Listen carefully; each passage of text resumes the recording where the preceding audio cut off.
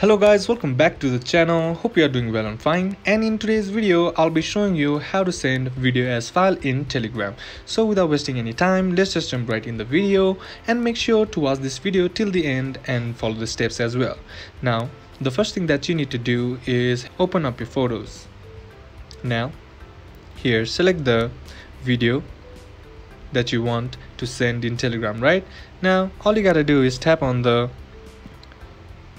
share icon on the bottom left corner of the screen and then scroll down and here you will see an option that says save to files right? Now just simply tap on that and on doing this your video will be saved as file in your phone right? Now all you gotta do is head over to your files app and now here you can see the video that is presented in this file presented as file right? Now just all you gotta do is simply long tap on the file video file. And now here tap on the share option. And once you tap on it here just select the app that is telegram right? Now just tap on that. And here select the contact that you want to share it with.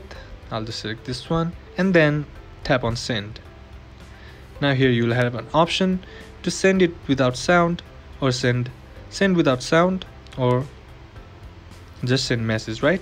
Now all you gotta do is tap on send message and here you can see it is uploading and once it uploads your file will be sent as a video your video will be sent as a file in telegram.